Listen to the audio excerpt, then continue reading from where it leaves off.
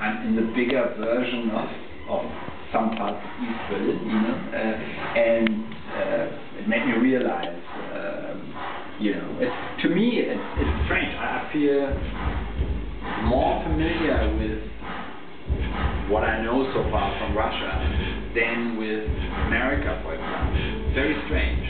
Because, but maybe it's because I grew up in Berlin, you know, and so present.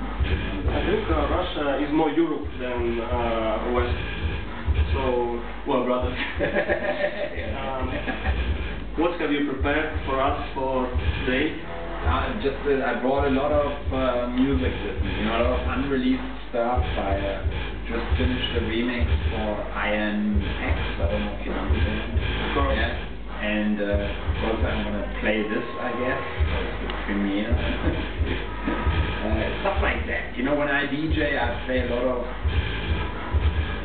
music that I do. For example, when I when I produce other bands or I work with other bands on uh, on collaborations, I do always my own tracks for the for DJing. You know, for example, I have just beats on certain genres or vocal tracks, and this gives me the way to just not just play records, but I you know I can play music that people have not heard before.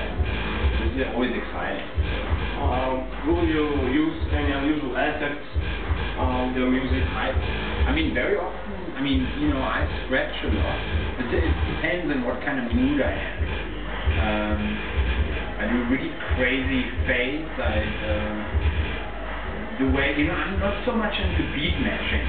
To, to me, that's kind of like a boring technique that also you can do automatically with the machines So to me, it's, it's more about like creating like a complex mix what people also you, you see the way I listen to music.